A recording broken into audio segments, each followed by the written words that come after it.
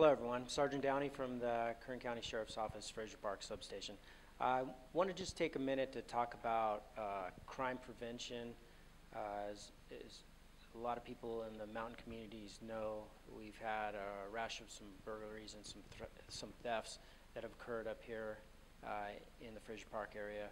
And uh, for those of you who who missed it, uh, this past weekend, October 31st, we had a town hall meeting with uh, Assemblywoman Shannon Grove.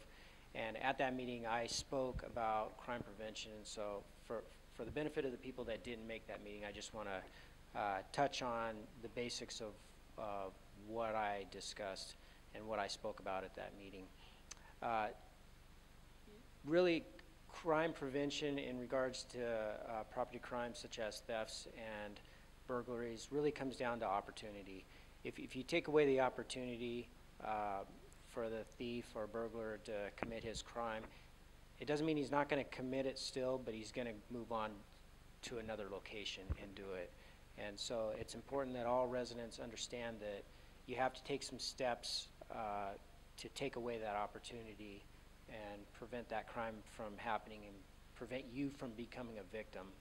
Um, one of the things that I really uh, spoke a lot about at the meeting, the town hall meeting, was our crime prevention specialist that we have at the sheriff's office. Uh, we have a crime prevention specialist. She's based out of Bakersfield. She's a civilian employee. She's not a uh, deputy sheriff, and she's really good. And what she'll do is is she goes out to neighborhoods and she will meet with residents and she will help them set up things like neighborhood watch programs.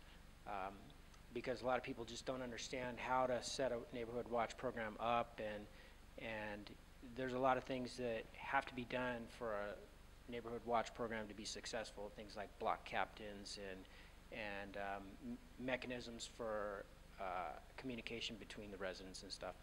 And so she will come out if you wish that, and she will help you set up a neighborhood watch program in your neighborhood.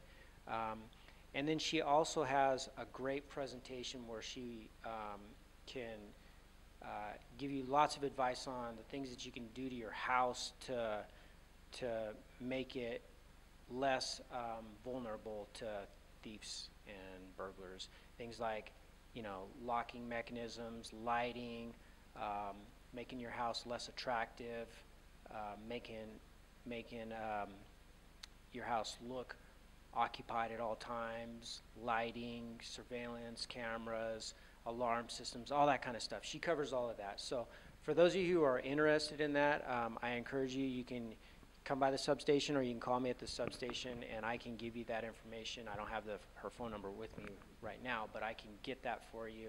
And I highly encourage you to do that because um, if you don't take away that opportunity for um, a theft or burglar, burglary to happen, it's going to happen. You will become a victim. And so the first step in preventing that is, is you taking those steps as a resident. What is again the number for your substation? Uh, my substation is uh, 245 3440. Can you repeat that, please? 245 3440. And we talk about a little bit about the weather conditions that we have here. Any recommendations on that? Yes, as, as a matter of fact, um, I think this, this week is the first week of winter. Uh, it got really cold. Um, there's some snow up on the mountains I saw this morning when I came to work.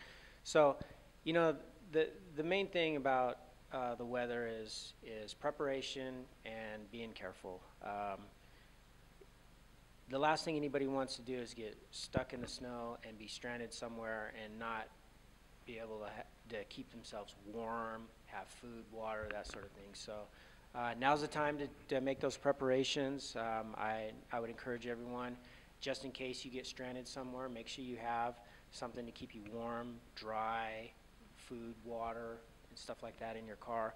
And as far as safety goes, you know, the, the main thing that people need to do when it comes to um, this kind of weather, when you talk about wet roads and snow and sleet and rain and stuff, you just need to slow down.